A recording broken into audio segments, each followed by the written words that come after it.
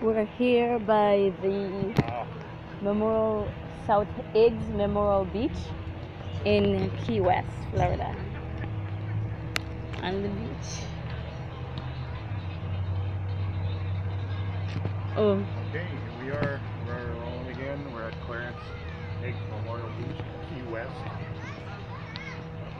Another place we've never seen in our lives.